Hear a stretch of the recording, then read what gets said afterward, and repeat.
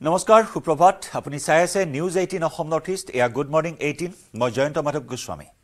নগাঁৱৰ মিছাত ভয়ংকৰ পথ দুৰ্ঘটনাত তিনি যুৱকৰ মৃত্যু। নিয়ন্ত্ৰণ হেৰুৱাই দ খাৱৈত বাগৰি পৰিল বাহন। থিতাতে মৃত্যু অৰ্জুন তাঁতী অমৃত বিশ্বাস ওৰফে চানু। চিকিৎসালয়লৈ নিয়াৰ পথত মৃত্যু হয় ৰাহুল বিশ্বাস নামৰ আনজন যুৱকৰ। মৃত তিনি যুৱকৰ ঘৰ কলিয়াবৰৰ মিছামুখত।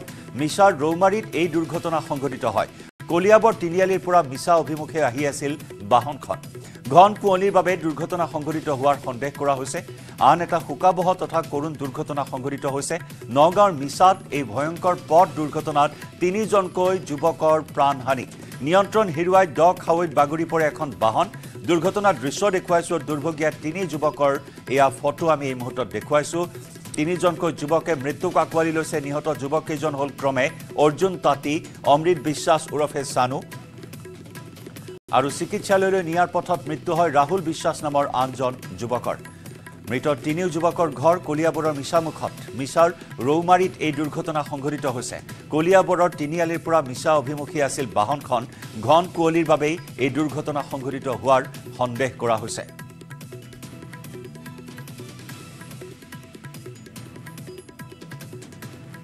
আমাৰ সাংবাদিক দিবাকৰ দাসৰ সৈতে সংযুক্ত হৈছোঁ অধিক খবৰ আমি লাভ কৰিম। দিবাকৰ আন এটা চাঞ্চল্যকৰ দুৰ্ঘটনা।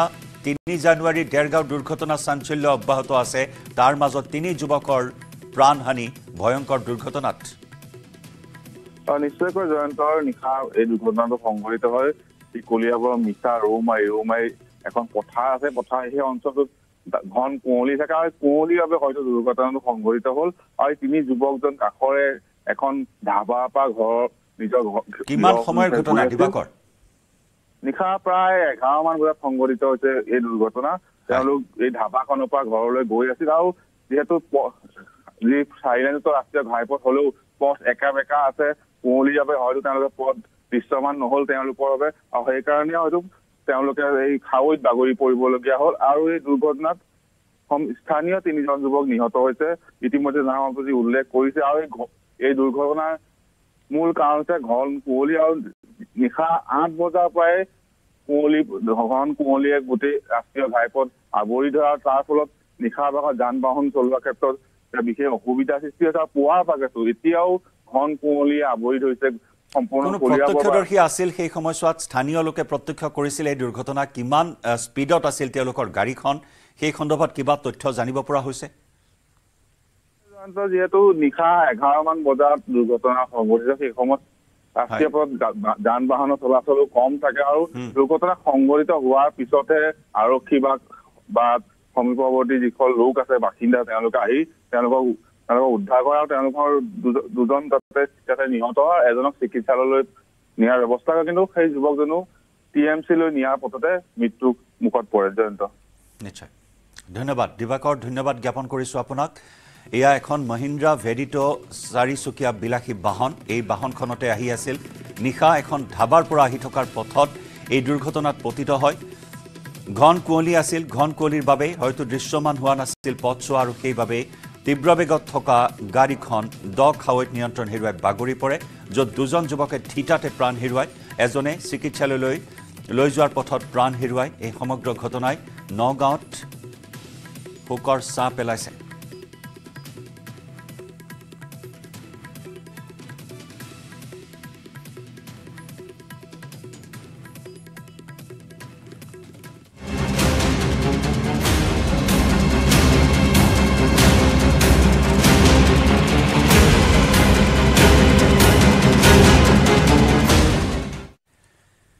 ডিমা হাছাও নিৰ্বাচন।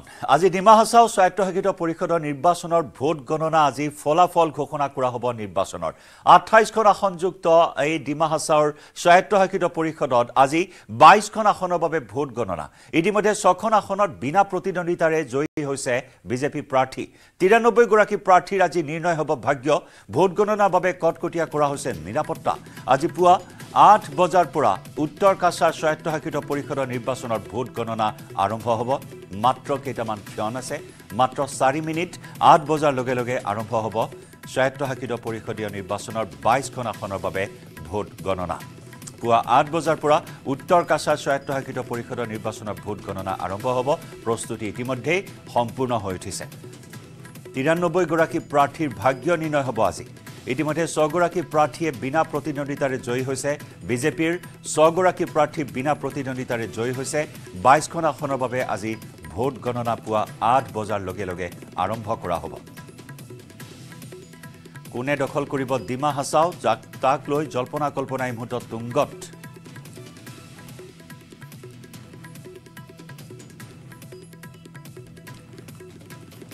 প্ৰায় সত্তৰ শতাংশ ভোটাধিকাৰ সাব্যস্ত হৈছিল। যোৱা আঠ জানুৱাৰীত সম্পন্ন হৈছিল ভোটগ্ৰহণ কোনে দখল কৰিব ডিমা হাছাওৰ মচনদ? তাকে লৈ এই মুহূৰ্তত জল্পনা কল্পনা অব্যাহত আছে। আমি বিজয়ীসকলৰ নামো এই মুহূৰ্তত আপোনালোকক জনাম। ছগৰাকী ইতিমধ্যে বিনা প্ৰতিদ্বন্দ্বিতাৰে জয়ী হৈছে।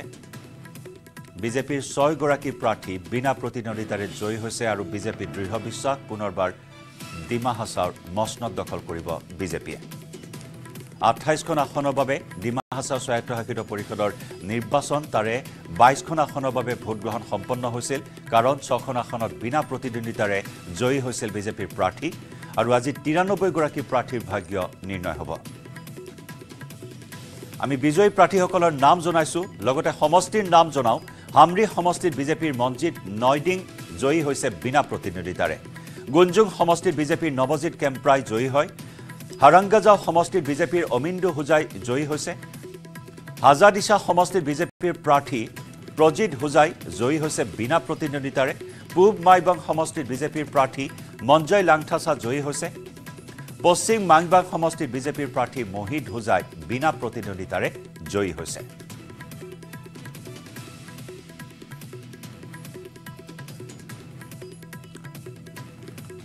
আমাৰ জ্যেষ্ঠ সাংবাদিক বিপুল বৰ্মা ডিমা হাছাওত আছে। আমি কিছু সময় পিছতে যোগাযোগ স্থাপন কৰিম। ভোট গণনা কেন্দ্ৰৰ পৰা প্ৰতি মুহূৰ্তৰ আপডেট আমাক জনাব। নিউজ এইটিনৰ পৰ্দাত আপুনি লাভ কৰিব প্ৰতি মুহূৰ্তৰ আপডেট। কোনে অগ্ৰগতি লাভ কৰিছে? কোনে জয়ী হৈছে? সকলোখিনি তথ্য কেৱল নিউজ এইটিনত আমি এক্সক্লুচিভ খবৰ আগবঢ়াম।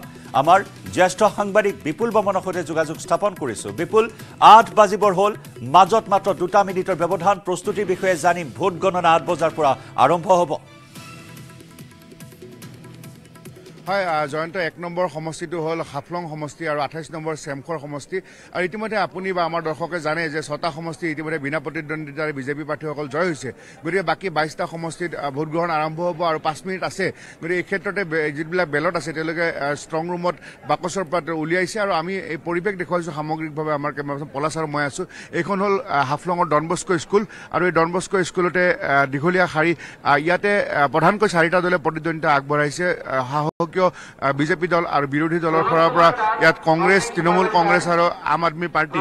আৰু এই মুহূৰ্তত ছটা বিধানসভা সমষ্টিত বিনা প্ৰতিদ্বন্দ্বী জয় হোৱাৰ উপৰি বাকী বাইছটা সমষ্টিত প্ৰতিদ্বন্দ্বিতা চলিছে। যথেষ্ট যথেষ্ট ভোট ভোটদান হৈছে। এবাৰ এইট্টি পাৰ্চেণ্ট ভোট পল হৈছে গতিকে। আৰু এতিয়া এইসকল যে আছে এইসকল বিভিন্ন দলৰ এজেণ্ট তেওঁলোকে আৰু ইয়াতে কেণ্ডিডেটো বহু কেইগৰাকী আছে গতিকে সকলোৱে আশা কৰিছে যে তেওঁলোক জয় হ'ব। কোনে কেনেকে কি হয় আমি প্ৰতি মুহূৰ্তৰ খবৰ আমাৰ নিউজ এইটিন অসম নৰ্থ ইষ্টৰ আমি দৰ্শকক জনাই ठीक है आप लोग कहाँ से आए दादा? कहाँ से आया माहौर से आ रहा है। माहौर से? कैसा उम्मीद? ठीक है। हाँ? ठीक है। तो आप कौन पार्टी का है? टीएमसी का है। टीएमसी का। आपका? और टीएमसी का है माहौर से माहौर से आप? हम भी टीएमसी का है माहौर से आया। माहौर से आया third Barail constituency Barail constituency हाँ। इंडिपेंडेंट पार्टी इंडिपेंडेंट हाँ आपका हम लोग इंडिपेंडेंट पार्टी से है हम लोग झाटिंगा कॉन्स्टिट्यूंसी से आया हुआ है জাতি- জাতিংগা से आए। জাতিংগা বৰাইল আৰু মাহুৰৰ আমি আহ, এই মুহূৰ্তত পাইছোঁ আহ, आप लोग कहाँ से आया है हम लोग जाति का कौन से জাতিংগা से अ, कौन पार्टी हम लोग इंडिपेंडेंट के नीचे इंडिपेंडेंट कैंडिडेट क्या नाम लाड़नटन किलो कैसा है उम्मीद उसका फील तो, तो सब बहुत अच्छा है আহ, এই মুহূৰ্তত আমি জাতিংগা কনষ্টিটুৱেঞ্চিৰ পালোঁ।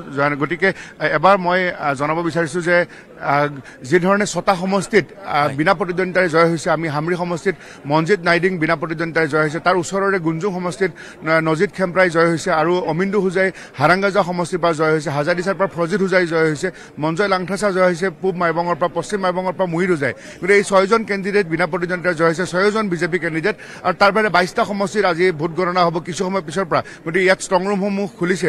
আৰু আমি প্ৰাৰ্থীসকলৰ অপেক্ষাত আছো বিভিন্নজন প্ৰাৰ্থী তেওঁলোকে ভিতৰত গৈছে তেওঁলোকে ছিগনেচাৰ কৰিব এই বেলট বক্সত গতিকে ভোটগ্ৰহণ প্ৰক্ৰিয়া গণনা প্ৰক্ৰিয়া প্ৰায় আৰম্ভ হৈছে যিহেতু আঠটা বাজিছে। গতিকে প্ৰতি মুহূৰ্তৰ খবৰ আমি নিউজ এইটিন অসমৰ দৰ্শক আমি জনাই থাকিম। আমি কৈছো যে ইতিমধ্যে বাইশটা সমষ্টি তিৰানব্বৈ গৰাকী প্ৰাৰ্থীৰ ছয়গৰাকী প্ৰাৰ্থী বিনা প্ৰতিদ্বন্দ্বিতাৰে জয়ী হৈছে। বাকীসকলৰ ভাগ্য নিৰ্ণয় হ'ব আমি পুনৰ জানিব বিচাৰিম। আপোনাৰ জৰিয়তে দৰ্শকসকলক জনাব বিচাৰিম বিপুল যে নিৰ্দলীয় প্ৰাৰ্থী কিমান কেইগৰাকী আছে। আৰু বাকী হেভি ৱেইট প্ৰাৰ্থীসকলৰ বিষয়ে কিছু জানিব বিচাৰিম। বিপুল। হয় নিৰ্দলীয় প্ৰাৰ্থী যথেষ্ট সংখ্যকে এইবাৰ নিৰ্দলীয় প্ৰত্যাহ্বান আনিছে বিজেপিৰ কাৰণে আৰু হেভিৱেট প্ৰাৰ্থী বুলি ক'লে দেহাংগী সমষ্টিত চি এম দেৱলাল গলোচা দেহাংগী সমষ্টিত প্ৰতিদ্বন্দ্বিতা কৰিছে। তাৰপৰি নামৰথাং মাৰ আছে তেওঁ লোৱাৰ খাৰথং সমষ্টিৰ পৰা। আৰু নিৰঞ্জন হোজাই তেওঁ যিটো হাতীখালী সমষ্টিৰ পৰা প্ৰতিদ্বন্দ্বিতা আগবাঢ়িছে এটা সময়ত চি এম আছিলে নিৰঞ্জন হোজাই আৰু তেওঁ বৰ্তমান বিজেপি প্ৰাৰ্থী হৈ তেওঁ হাতীখালী সমষ্টিৰ পৰা প্ৰতিদ্বন্দ্বিতা আগবঢ়াইছে। আৰু হাফলং সমষ্টিটো আটাইতকৈ বেছি ভোট আছে। জয়ন্ত আপোনাক আপোনাৰ জৰিয়তে আমাৰ দৰ্শক জনাব বিচাৰিছোঁ ইয়াত পোন্ধৰ হাজাৰ ভোট পল হৈছে। এইটো হ'ল আটাইতকৈ ডাঙৰ সমষ্টি। ইয়াত বিজেপিৰ ফালৰ পৰা ডংপাইনন থাউচেণ্ড তেওঁ প্ৰতিদ্বন্দ্বিতা কৰিছে। আথিং জেমি তেওঁ তৃণমূল কংগ্ৰেছৰ ফালৰ পৰা মায়ানন খেম্প্ৰাই ইয়াতে কংগ্ৰেছৰ ফালৰ পৰা আৰু এই বৰ্তমানৰ যিগৰাকী এম এ চি হৈ আছে member of council Daniel Langthasa তেওঁ ইণ্ডিপেণ্ডেণ্ট খেলিছে যোৱাবাৰ কংগ্ৰেছৰ আছিলে। হাফলং সমষ্টিটো আটাইতকৈ ডাঙৰ আৰু আটাইতকৈ সৰু যদি কওঁ আমি চেমখৰ তাত হিৰজিৎ জিদুং আৰু বৰ্তমানৰ যিগৰাকী অধ্যক্ষ এই পৰিষদৰ ৰাণু লাংথাছা তেওঁৰ মাজত প্ৰতিদ্বন্দ্বিতা হৈছে ডাইৰেক্ট প্ৰতিদ্বন্দ্বিতা হৈছে হিৰজিৎ জিদুং আৰু ৰাণু লাংথাছাৰ মাজত। গতিকে তেনেধৰণে আমি কৈছোঁ যে ইয়াত যিহেতু হেভিৱেট প্ৰাৰ্থীত তিনিগৰাকী চি এম বৰ্তমান এই প্ৰতিদ্বন্দ্বিতা আগবঢ়াইছিলে। এজনটো দেৱলাল গালোচৰ দেৱাংগীত নিজে আছে। আনহাতে মোহিত হোজাই তেওঁ বিনা প্ৰতিদ্বন্দ্বিতাৰে জয় হ'ল তেওঁ এটা সময়ত চি এম আছিলে আৰু নিৰঞ্জন হোজাই চি এম আছিলে। গতিকে নিৰঞ্জন হোজাইহে মাত্ৰ এতিয়া আৰু দেহাংগী সমষ্টি দেৱলাল গালোচা দুটা সমষ্টিত প্ৰতিদ্বন্দ্বিতা হৈ আছে কিন্তু মোহিত হোজাই বিনা প্ৰতিদ্বন্দ্বিতাৰে জয়লাভ কৰিছে।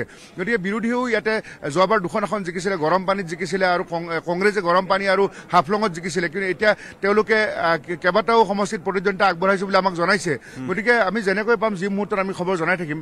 আমি এগৰাকী প্ৰাৰ্থী পাইছোঁ তেওঁক জনাম ৰাহুল নাৰিংজী কেঁচা হে খবৰ? বিপুল আপুনি সংযুক্ত হৈ থাকক প্ৰাৰ্থীগৰাকীৰ সৈতে থাকক সংযুক্ত হ'ম আমি আপোনাৰ সৈতে। আমি এইখিনি মুহূৰ্তত জনাইছোঁ ডিমা হাছাওত আৰম্ভ হৈছে ভোট গণনা। ডিমা হাছাওত ভোট গণনা আৰম্ভ হৈছে জল্পনা কল্পনাৰ অন্ত পেলাই ভোট গণনা আৰম্ভ হৈছে। বেছি সময় প্ৰয়োজন নহ'ব অতি শীঘ্ৰেই ফলাফল সন্মুখলৈ আহিব। বাইছখন আসনৰ বাবে ভোট গণনা চলিব গতিকে অতি কম সময়ৰ ভিতৰতে ফলাফল ওলাই পৰিব স্পষ্ট ৰূপত জানিব পৰা যাব কোনে অগ্ৰগতি লাভ কৰি আছে বা কোনে জয় লাভ কৰিব। এই খবৰ আমি আপোনালোকক জনাইছোঁ। পুৱা আঠ বাজি গ'ল। আঠ বজাৰ পৰা আৰম্ভ হৈছে ভোট গণনা প্ৰক্ৰিয়া। কটকটীয়া নিৰাপত্তা বেষ্টনীৰ মাজত ডিমা হাছাৰ ভোট গণনা আৰম্ভ হৈছে। বিপুল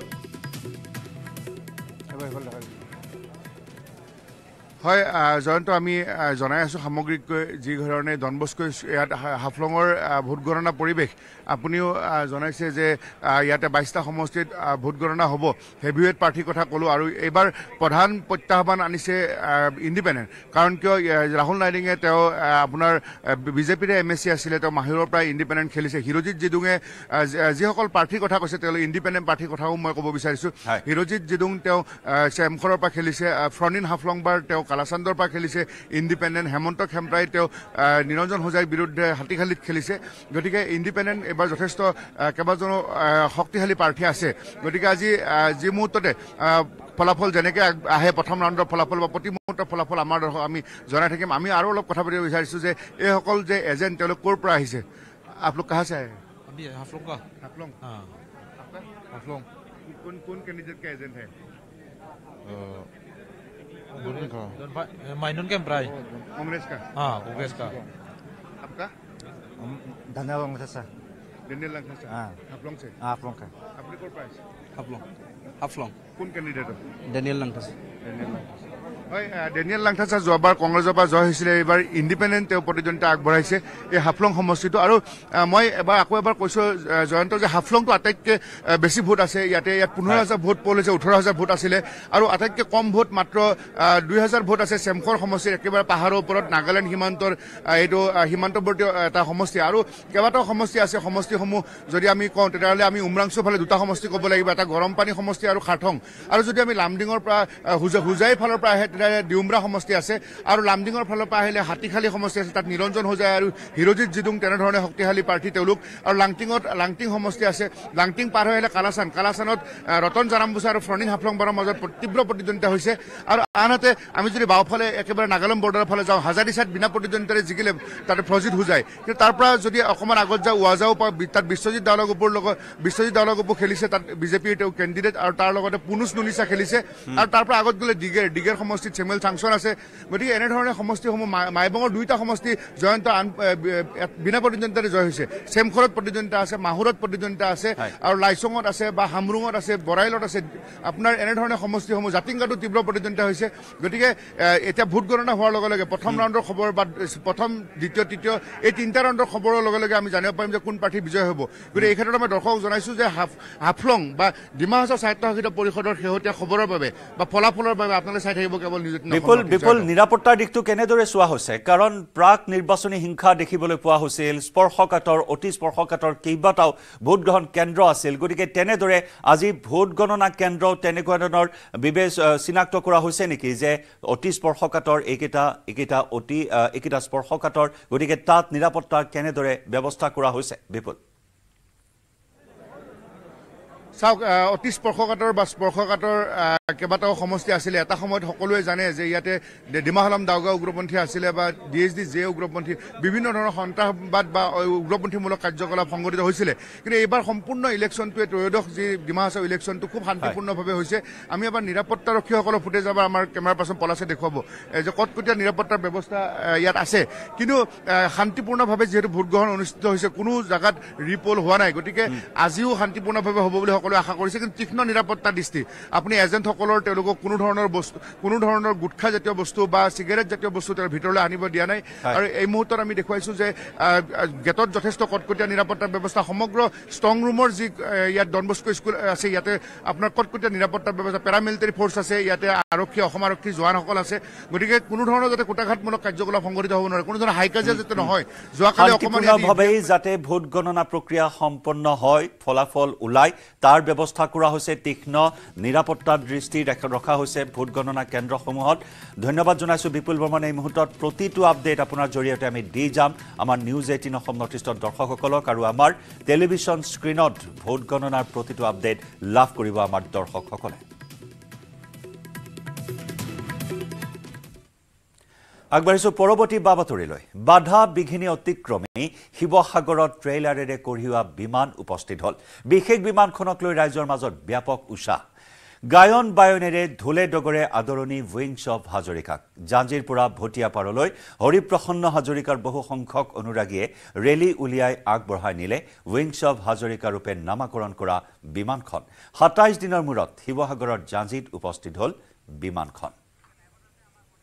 শিৱসাগৰৰ পৰা আমাৰ সাংবাদিক প্ৰদীপ গগৈৰ সৈতে যোগাযোগ স্থাপন কৰিছোঁ। পোনপটীয়া সম্প্ৰচাৰত প্ৰদীপ কৌতূহলৰ কেন্দ্ৰবিন্দু আকৰ্ষণৰ কেন্দ্ৰবিন্দু আছিল এই বিমানখন যি বিমানখন সাতাইছ দিন ধৰি স্থলপথেৰে কঢ়িয়াই আনি অৱশেষত শিৱসাগৰৰ ভটিয়াপাৰতলৈ লৈ যোৱা হৈছে। আমি জানিম সবিশেষ। প্ৰদীপ। হয় জয়ন্ত মই বৰ্তমান উপস্থিত আছো শিৱসাগৰ জিলাৰ ভটিয়াপাৰত সাতত্ৰিছ নং ৰাষ্ট্ৰীয় ঘাইপথৰ কাষত। আৰু সেই বিশেষ মুহূৰ্তটো ইতিমধ্যেই এ, উপ- হ'ল সেই যিটো আচলতে আশা কৰি আছিলে শিৱসাগৰবাসীয়ে সমগ্ৰ অসমবাসীয়ে আশা কৰি আছিলে সু কলমতে এ, সেই বিশেষ যিখন ট্ৰে এৰোপ্লেন বিশেষ বিমানখন যাতে সুকলমে ভটিয়াপাৰত আনিব পাৰে তাৰ বাবে সকলোৱে অপেক্ষা কৰি আছিলে আৰু যোৱা নিশা ইয়াত দেখিছে এইখন বিমান airbus A three two zero' এই উইংছ অফ হাজৰিকা যিটো নাম দিছে এই উইংছ অফ হাজৰিকা আনি ইয়াত বৰ্তমান ৰখাই থৈছে। আৰু এই স্থানতে হৰিপ্ৰসন্ন হাজৰিকাই বি- এই এৰোপ্লেনখনৰ বিশেষ ৰেষ্টুৰেণ্ট হিচাপে ইয়াত গঢ়ি তুলিব। এইটোৱে হৈছে স্থান। ইয়াৰ পৰা হয়তো কিছু সময় পিছত এই ট্ৰেইলাৰখনৰ পৰা এই বিমানখন নমাব। তাৰপিছতে তেওঁলোকে পৰৱৰ্তী আচলতে পদক্ষেপ ল'ব যিহেতু কেইবামাহো হয়তো লাগি যাব পাৰে ইয়াত যিখন ৰেষ্টুৰেণ্ট আচলতে ইয়াত বনাব বুলি কৈছে ইয়াত এই বিমানখনত। সেই পদক্ষেপ পিছত ল'ব। কিন্তু এই মুহূৰ্তত সকলোতকৈ ভাল লগা কথা হ'ল যে সকলো বাধা বিঘিনি অতিক্ৰম কৰি সুকলমে আহি যোৱা নিশা এই স্থানত উপস্থিত হ'লে। এইটো এই স্থান টুকুৰা হৈছে শিৱসাগৰৰ ভটিয়াপাৰ আৰু সাতত্ৰিছ নং ৰাষ্ট্ৰীয় ঘাইপথৰ কাষত। ইয়াতে সেই প্ৰকল্প হ'ব আৰু ৰাতিপুৱাৰ পৰা এই এইখন যিহেতু বহু কৌতূহলী হৈ আছিলে ইয়াৰ স্থানীয় লোক গতিকে তেওঁলোকে আহি যিসকলে যোৱা নিশা আচলতে আহিব নোৱাৰিলে তেওঁলোকে পুৱাই দেখিছে চেলফি তোলাই চেলফি তুলিছেহি এই এৰোপ্লেনখনত কাষত আহি বিমানখনৰ কাষত আহি সেইদৰে কোলাত কেঁচুৱা লৈও আহিছে বহুজন। পুৱাৰে পৰা আচলতে মই দেখুৱাইছোঁ পৰিৱেশ আচলতে ইয়াত যথেষ্ট আজি ঘন কুঁৱলী পৰিছে ডাঠ কুঁৱলী পৰিছে প্ৰচণ্ড ঠাণ্ডা শীতৰ প্ৰকোপ বাঢ়িছে। সেই শীতৰ প্ৰকোপ নেওচি আজি তেওঁলোক আহিছে। কোলাত কেঁচুৱা লৈও আহিছে শীতৰ প্ৰকোপ নেচি নেওচি কাহিলি পোৱাতে। কি ক'ব? ক'বলৈ কি আছে অসমৰ গৌৰৱ? আমাৰ শিৱসাগৰ গৌৰৱ ভটিয়াপাৰ গোটেই অঞ্চলৰ গৌৰৱ। আমি হাজৰিকাক লগত সদায় লগ পাই থাকোঁ। তেখেতৰ যিখিনি মনৰ কথা বতৰা যিমান তেখেতে এটা ইমান যিটো বস্তু ওপৰত উৰি ফুৰা বস্তু তললৈ নামি আনাই যিখিনি কৰিলে সঁচাই শলক শলাগ ল'বলগীয়া তেখেতক চেলুট মাৰিবই লাগিব। তেখেতে অকলে এইটো কামেই নহয়। তেখেতৰ প্ৰচেষ্টাত তেখেতে অসমীয়া যুৱক যুৱতীক যিখিনি আমাৰ প্ৰতি মানে হয়। হয় আৰু বহুজন আহিছে মই জানিব বিচাৰিম। ক'ৰ পৰা আহিছে? গামোচা লৈ ওলাই আমি তেজপুৰৰ পৰা আহিছো? তেজপুৰৰ পৰা। তেজপুৰৰ পৰা আহিছে? হয়, হয়। এ, ফুৰিবলৈ আহিছে ফুৰিবলৈ আহিছিলো। ইয়াতে দেখা পাই বহুত ভাল লাগিছে। যিহেতু শিৱসাগৰ এটা গৌৰৱ হয় সেইটো দেখি বহুত ভাল লাগিছে তেওঁ।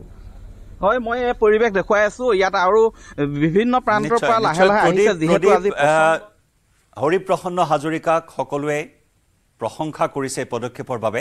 সমান্তৰালকৈ প্ৰশংসা কৰিছে ট্ৰেইলাৰখনৰ চালকজনক। সাতাইছ দিন ধৰি চালকজনৰ যি তৎপৰতা সেই তৎপৰতাৰে সুকলমে শিৱসাগৰ আহি পালে এই বৃহৎ বিমানখন বৃহৎ ট্ৰেইলাৰখন। গতিকে চালকজনৰ সৈতে বাৰ্তালাপ কৰিছিল প্ৰদীপ। তেওঁ কি কয় সেই অভিজ্ঞতাৰ বিষয়ে? হয় জয়ন্ত যিহেতু যথেষ্ট কষ্ট হৈছে যোৱা ষোল্ল ডিচেম্বৰত মুম্বাইৰ পৰা আচলতে ট্ৰেইলাৰখন অতি তেওঁ সুকলমে অতি কৌশলপূৰ্ণভাৱে তেওঁ চলাই আহিছিলে আৰু বিশেষকৈ অসমৰ যি অসমত প্ৰৱেশ কৰোঁতে যথেষ্ট ঠায়ে ঠায়ে সমস্যাৰ সন্মুখীন হৈছিলে অভাৰ ব্ৰিজত লাগি ধৰিছিলে সেইধৰ সেইদৰে আৰু বিশেষকৈ উজনি অসমৰো যি ৰাস্তা ৰাষ্ট্ৰীয় ঘাইপথ অতি ঠেক। ঠেক আৰু বিধ্বস্ত হৈ আছে তাৰ মাজতো আচলতে কোনো ধৰণৰ অঘটন নোহোৱাকৈ চালকজনে লৈ আনিছিলে আৰু তেওঁ আচলতে যথেষ্ট এই ক্ষেত্ৰত আচলতে সচেতন আছিলে আৰু কালি আমি যি বাৰ্তালাপ কৰিছিলোঁ তেওঁৰ সৈতে যথেষ্ট সচেতন আছিলে আৰু কোনো ধৰণৰ যাতে অপ্ৰীতিকৰ পৰিস্থিতি নহয় কোনো আৰু যথেষ্ট যিহেতু হেজাৰ হেজাৰ লোকে আগুৰি আগুৰি ধৰিছে তাৰ। মাজতো যে কোনো ধৰণৰ অঘটন নোহোৱাকৈ নিয়াৰিকৈ আনিলে তাৰ বাবে তাৰ সকলোৱে সকলোৱে, শলাগ লৈছে তাৰ বাবে সকলোৱে। চেলুট জনোৱা পৰিলক্ষিত হৈছে আনকি ছ'চিয়েল মিডিয়াতো চালকজনক সকলোৱে চেলুট জনোৱা পৰিলক্ষিত হৈছে ধন্যবাদ প্ৰদীপ এই মুহূৰ্তত আমি পৰৱৰ্তী সময়ত পুনৰ যোগাযোগ স্থাপন কৰিম আৰু এই পৰিকল্পনাক বাস্তৱ ৰূপ দিয়াৰ ক্ষেত্ৰত পুনৰ কিছু সময়ৰ প্ৰয়োজন হ'ব। এক সৃষ্টিশীল মন আৰু সেই সৃষ্টিশীল মনক এয়া ন ৰূপত সজাই পৰাই তোলা হ'ব এই এৰোপ্লেনখন য'ত এখন ৰেষ্টুৰেণ্ট নিৰ্মাণ কৰা হ'ব যাৰ নাম ৰখা হ'ব উইংছ অৱ হাজৰিকা। সুকলমে অৱশেষত সাতাইছ দিনৰ অন্তত পালেগৈ শিৱসাগৰ। গুড মৰ্ণিং এইটিনত আমি খবৰৰ ধাৰা অব্যাহত ৰাখিম। সময় হৈছে এটা বাণিজ্যিক বিৰতি। ভাৰতৰ গৌৰৱ গোটেই বিশ্বতেই ইয়াৰ সন্মান। ষ্ট্ৰং মানে মাইথান ষ্টীল।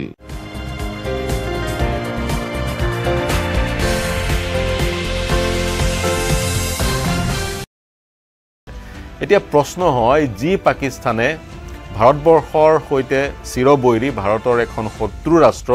সদায় ভাৰতবৰ্ষৰ বিৰুদ্ধাচৰণ কৰি সেই ধৰণৰ সন্ত্ৰাসবাদক স্পনচৰ কৰি থাকে। সেইখন দেশৰ এজন ব্যক্তিয়ে উচ্চ আয়ুক্তগৰাকীক সেই বিশেষ দিনটোত এই খবৰ কিয় দিলে? প্ৰিয় দৰ্শক এইখিনি কথা উল্লেখ কৰিছে অজয় বিচাৰীয়া নামৰ উচ্চ আয়ুক্তগৰাকীয়ে তেওঁ এখন গ্ৰন্থ- লিখিছে। গ্ৰন্থখনৰ তেওঁ অৱসৰ গ্ৰহণ কৰিলে। অৱসৰ গ্ৰহণ কৰাৰ পিছত তেওঁ এখন গ্ৰন্থ লিখিছে। গ্ৰন্থখনৰ নাম হৈছে anger management the troubled diplomatic relationship between India and Pakistan. Anger management, the troubled diplomatic relationship between India and Pakistan. এই গণ গ্ৰন্থখনৰ এটা অংশত তেওঁ এই কথাখিনি সন্নিৱিষ্ট কৰিছে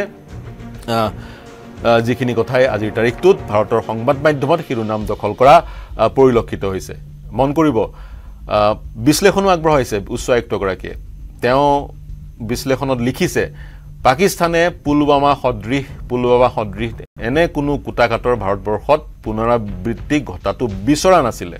আৰু পাকিস্তানে এই বাৰ্তাও দিব বিচাৰিছিল যে পাকিস্তানে ভাৰতবৰ্ষৰ বিৰুদ্ধে আক্ৰোশমূলকভাৱে সেই সময়ত কোনো পদ পদক্ষেপ গ্ৰহণ কৰিব বিচৰা নাছিল। কোনটো সময়ত?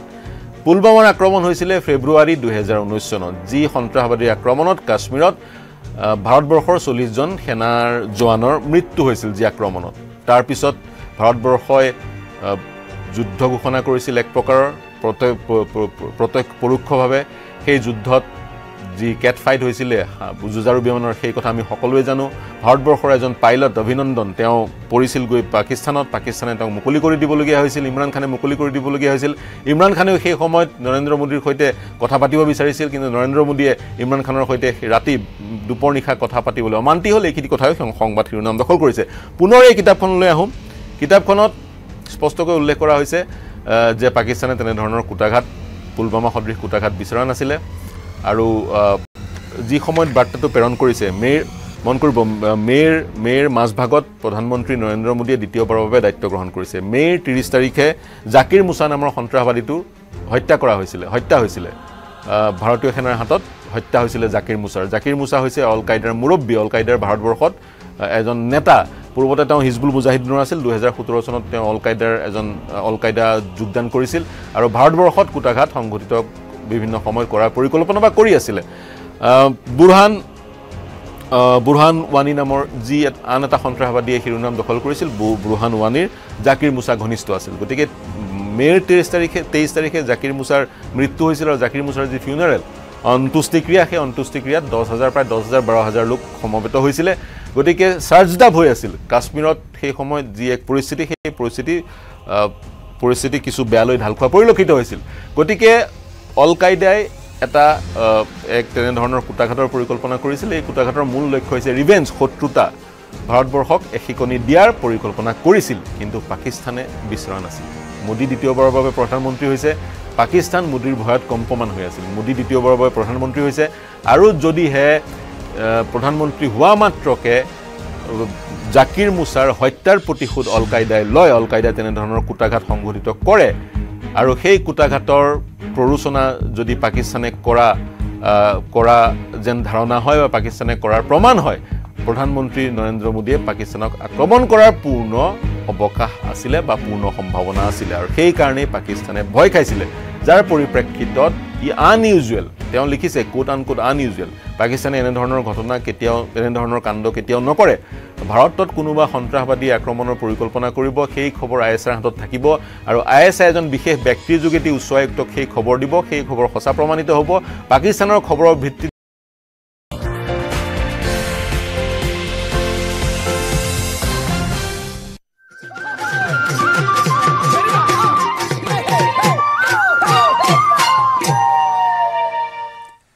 আহিছে ভোগালী। হেঁপাহৰ ভোগালী বিহুৰ উৰুকালৈ মাজত মাত্ৰ এটা দিন। উজনিৰ পৰা নামনিলৈ এতিয়া চৌদিশে ভোগালীৰ ব্যাপক উৎসাহ উদ্দীপনা। বজাৰ উপচি পৰিছে বিহুৰ পিঠা পনা জলপানেৰে। আখলত ব্যস্ত হৈছে জীয়ৰী বোৱাৰীসকল। ৰাজ্যৰ মাছৰ বজাৰসমূহতো আৰম্ভ হৈছে ব্যাপক ভিৰ।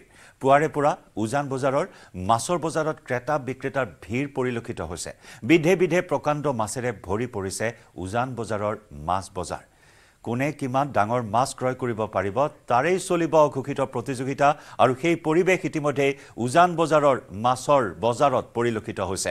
আমাৰ সতীৰ্থ সাংবাদিক অসীম দত্তৰ সৈতে যোগাযোগ স্থাপন কৰিছোঁ পোনপটীয়া সম্প্ৰচাৰত। অসীম এক ভোগময় পৰিৱেশ উজান বজাৰ ঘাট য'ত প্ৰতি বছৰে বৃহৎ বৃহৎ মাছৰ পয়োভৰ দেখিবলৈ পোৱা যায়। কোনে কিমান ডাঙৰ মাছ ক্ৰয় কৰিব তাৰেই চলে অঘোষিত প্ৰতিযোগিতা। আমি সেই মাছৰ বজাৰখন চাম এই মুহূৰ্তত। হয় নিশ্চয়কৈ জয়ন্ত আচলতে ভোগালীৰ উৰুকালৈ মাজত মাত্ৰ এটা দিন বাকী ৰৈছে আৰু মাজত মাত্ৰ এটা দিন বাকী ৰোৱাৰ সময়ত এতিয়া- দেখিবলৈ পোৱা গৈছে যিসমূহ মাছৰ বজাৰ আছে ৰাজ্যৰ বিভিন্ন প্ৰান্তৰ সমান্তৰালকৈ গুৱাহাটী মহানগৰীৰ বিভিন্ন প্ৰান্তত যিসমূহ মাছৰ বজাৰ আছে সেই মাছৰ মাছৰ বজাৰসমূহত আচলতে ব্যাপক ভিৰ দেখিবলৈ পোৱা গৈছে। লোকে লোকাৰণ্য হৈ পৰিছে আৰু এই মুহূৰ্তত মই যিহেতু উজান বজাৰস্থিত যি মাছৰ বজাৰ আছে বৃহৎ মাজৰ মাছৰ বজাৰ সেই মাছৰ বজাৰত উপস্থিত আছো আৰু মই এই মুহূৰ্তত দেখুৱাইছো উজান বজাৰৰ ব্ৰহ্মপুত্ৰৰ পাৰৰ উজান বজাৰৰ যি মাছৰ বজাৰৰ সামগ্ৰিক দৃশ্য সেই দৃশ্যাংশ দেখুৱাইছো এই মুহূৰ্তত নিউজ এইটিন অসম নৰ্থিষ্টৰ প্ৰতিগৰাকী দৰ্শকক যিহেতু ভোগালীৰ উৰুকালৈ মাজত মাত্ৰ এটা দিন বাকী থকাৰ সময়তে এতিয়া এনেদৰে গ্ৰাহকৰ ভিৰ দেখিবলৈ পোৱা গৈছে। বিভিন্ন প্ৰান্তৰ পৰা বিভিন্ন প্ৰান্তৰ পৰা লোকসকল আহিছে আৰু লোকসকল আহি তেওঁলোকৰ যি মনপচন্দৰ মাছ সেই মনপচন্দৰ মাছ তেওঁলোকে ক্ৰয় কৰা দেখিবলৈ পোৱা গৈছে আৰু পুৱাৰ ভাগৰ পৰা আচলতে ব্যাপক ভিৰ দেখিবলৈ পোৱা গৈছে এই মাছৰ বজাৰখনত। বিভিন্নজন লোক আছে বিভিন্ন গ্ৰাহক আছে আমি তেওঁলোকৰ সৈতে কথা পাতিবলৈ চেষ্টা কৰিম। পোনপটীয়াভাৱে তেওঁলোকে মাছ ক্ৰয় কৰিবলৈ আহিছে। আহ, আপোনাৰ ওচৰলৈ আহিছো। আহ, কি ক'ব? মাছ ক্ৰয় কৰিবলৈ আহিছে। असामीज आता नहीं है। मोस्टली अब्बास आप लेने के लिए आए हो? ले लिया। हाँ, ले लेने के लिए आया ले लिया। पाँच के जी लिया है वो जो रेट भाव है वो कैसे मिल रहा है आपको? एक सौ से मिला है। रेट रेट रेट एक सौ से के जी में एक सौ। के जी के जी में? के जी में एक सौ से मिला है। নিশ্চয়কৈ আচলতে এনেদৰে দেখিবলৈ পোৱা গৈছে লোকসকল আহিছে বিভিন্ন প্ৰান্তৰ পৰা লোকসকল আহিছে তেওঁলোকে মাছ ক্ৰয় কৰিবলৈ আহিছে বিভিন্ন গ্ৰাহক আছে আৰু বিক্ৰেতাসকলৰ সৈতে মই কথা পাতিবলৈ চেষ্টা কৰিম বিভিন্ন লোক আছে বিভিন্ন লোকৰ সৈতে মই কথা পাতিবলৈ চেষ্টা কৰিম এনেদৰে এতিয়া উজান বজাৰৰ যি মাছৰ বজাৰ সেই মাছৰ বজাৰত ভিৰ দেখিবলৈ পোৱা গৈছে। উৰুকাৰ দিনটোত ভকুৱা চিতল প্ৰতি কেজিত কিমান দাম উঠিব?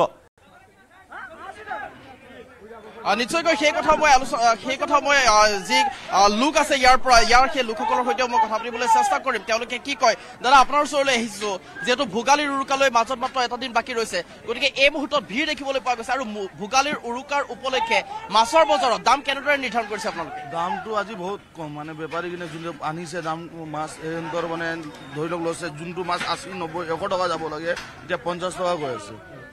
সেইটো হিচাপত এতিয়া সৰু মাছৰ দামটো বহুত কম আছে। হোলচেলৰ কথা কৈ আছে।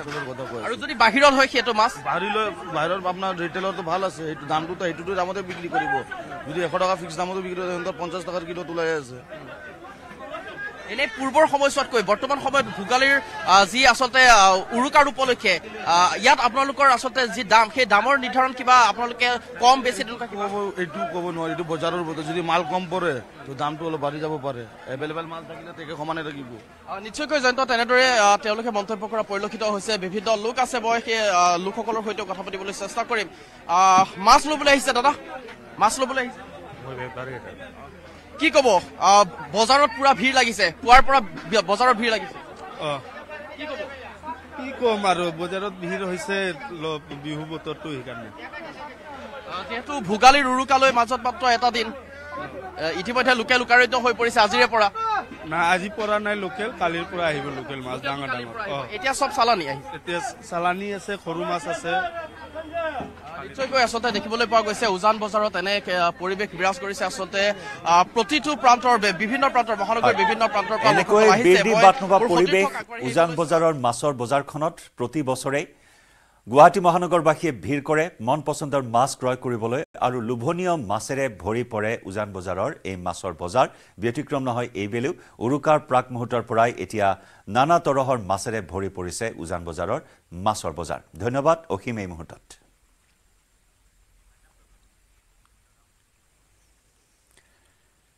আৰু ইয়াৰে সৈতে সময় হ'ল। গুড মৰ্ণিং এইটিনৰ পৰা বিদায় লোৱাৰ। নমস্কাৰ।